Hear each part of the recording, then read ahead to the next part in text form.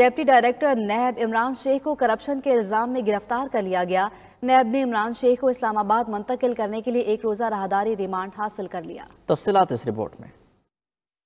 नैब कराची और इस्लामाबाद ने मुश्तर कार्रवाई करके करप्शन के इल्ज़ाम में अपने ही अफसर को गिरफ़्तार कर लिया। स्पेशल ड्यूटी मजिस्ट्रेट जनूबी कराची के मुताबिक deputy director NAB Imran Sheikh को करप्शन में मुलवस मुलजिमों से रिश्वत लेने के जुर्म में गिरफ़्तार किया गया। नैब ने गिरफ़्तार अफसर को इस्लामाबाद मुंतकल करने के लिए एक रोजा राहदारी रिमांड भी हासिल कर लिया। नैब जराये का कहना है की गिरफ़्तार डिप्टी डायरेक्टर इमरान शेख को कल इस्लामाबाद मुंतकल किया जाएगा। नैब अफसर पर चेक की सूरत में रिश्वत लेने का इल्ज़ाम है। नैब जराये का कहना है, अफसर कई चेक कैश भी करवा चुका है।